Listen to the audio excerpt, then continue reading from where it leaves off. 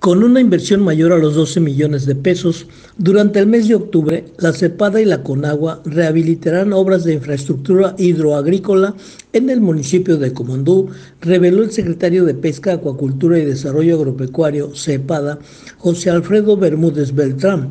Por lo pronto, dijo que se trabaja en las licitaciones con empresas que estén autorizadas por la CONAGUA para llevar a cabo acciones de perforación, reparación o sustituciones de motores y equipos con los cuales se beneficiarán las familias rurales en procesos de cosecha y alimento del ganado. Este programa tiene dos acciones principales, perforar pozos y también la eh, rehabilitación de todo el equipo electromecánico que consiste en el transformador, arrancador, lo que es toda la parte de las instalaciones eléctricas que hacen eficiente el uso de la energía eléctrica y obviamente el uso del agua que incluye el equipo de bombeo.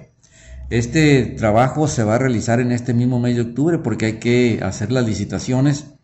Es un programa eh, muy útil para los productores y estamos nosotros participando como gobierno del estado. Es una inversión eh, arriba de los 12 millones de pesos. El secretario recordó que el programa de apoyo a la infraestructura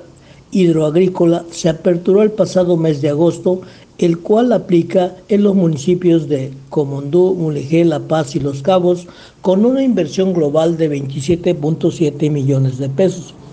Subrayó que la administración de Víctor Castro Cosío está dispuesta a escuchar las necesidades de la comunidad de productores para fortalecer el sector primario de Baja California Sur y trabajar en la planeación de programas que permitan su crecimiento.